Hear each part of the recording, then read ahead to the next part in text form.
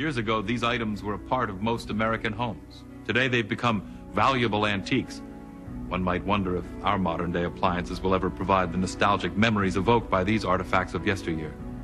Dr. Edwin P. Costin is a man who appreciates his past, but today he's in a personal crisis. He's lost the will to practice medicine. But even as he's rejecting tomorrow, he's about to come face to face with yesterday. And his future will never be the same. My husband Edwin was an excellent doctor, but lately he had been seeing fewer and fewer patients. I could sense he was slipping into a depression, so I suggested we take some time off and travel down some country roads, soak up the local color.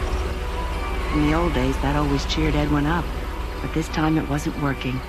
I was beginning to fear that he might never practice medicine again. Are you sure you really want to go in there, Kay?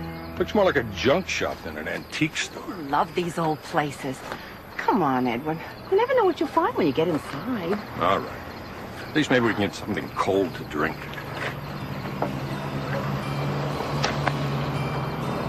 It's 115. How can anybody work in this heat? I had picked some time to go sightseeing. The entire South was in the midst of a record heat wave, which didn't help Edwin's mood. I didn't want to admit it, but Edwin was right. It was a dust trap inside, and it was impossible to tell the antiques from the junk. And the eccentric owner didn't seem to help matters either. Well, hey there! Welcome to Daddy Man's. I apologize about the heat, but the swamp cooler's been down since electricity blew a few days ago. You wouldn't happen to have something cold to drink, would you? Oh, sorry, like I said, there ain't no electricity. But I do have some homemade lemonade. There ain't no ice, but at least it's wet. That'd be great. Uh, thank you. Picked it right off the trees out back.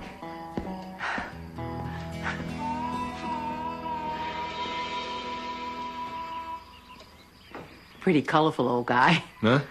Uh, yeah. Real colorful. Come on, Ed. Could you at least pretend to be having a good time? I'm sorry, Kay.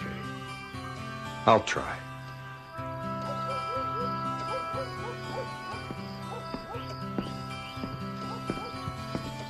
Lemonade sweet enough for y'all? Edwin had that faraway look again, like all the life was draining out of him. I wondered if he would ever return to his practice. And then...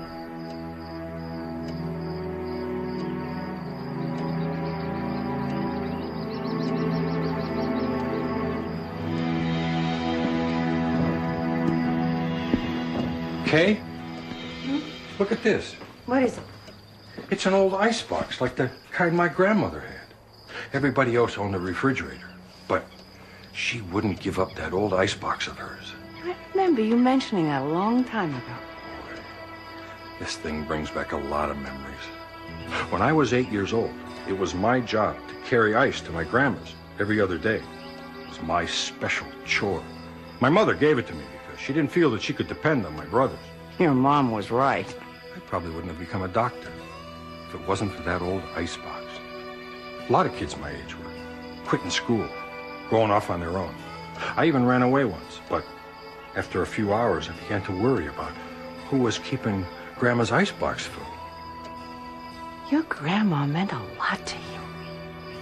She encouraged me to do something with my life. Yeah.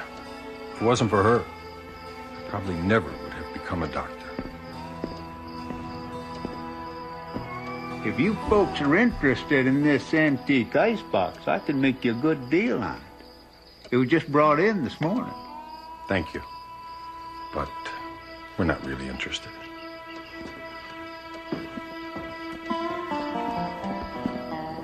I'm extremely surprised you folks couldn't find anything you liked amongst all those valuable antiques. Hey! You gotta help me. My partner's collapsed.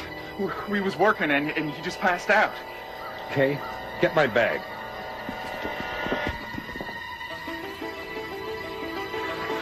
What's wrong with him? It's acute heat exhaustion. Pulse is very weak. We have to get him inside, out of the heat.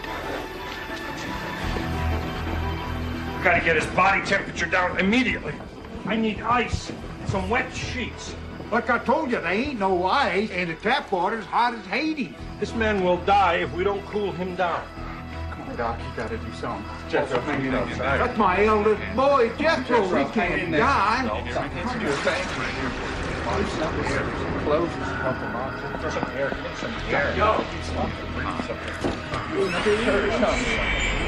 Edwin! You thirsty? Edwin!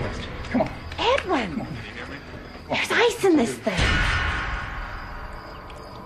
Well, how'd that get there? Get them sheets. Get something to break that ice up with.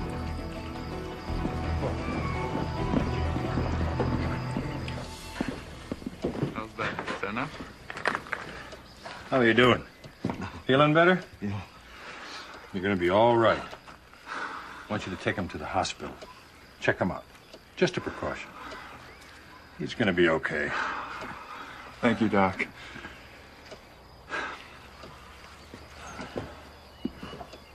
You just stay calm till the ambulance gets here, Jethro. You're gonna be just fine. We'll get you back to work. How did that block of ice get in that box? I don't know. It's like a miracle.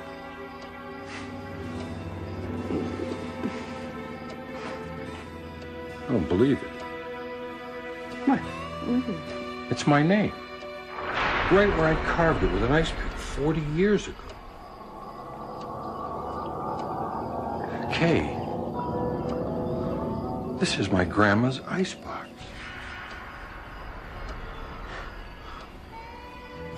Edwin and I purchased the icebox, and it sits in our home today. Edwin hasn't suffered a crisis of confidence since. In fact, he's a better doctor than he ever was. All thanks to that old wooden icebox. Is this just an amazing coincidence? Or was the spirit of Dr. Costin's grandmother somehow watching over him? And even if you accept the fact that the same icebox could have shown up years later, hundreds of miles away, how do you explain the ice inside of it? Was the icebox delivered to Daddy Mac's store with the ice already inside? Is this story based on solid reality? Or is it as fleeting as a block of ice on a steamy summer afternoon?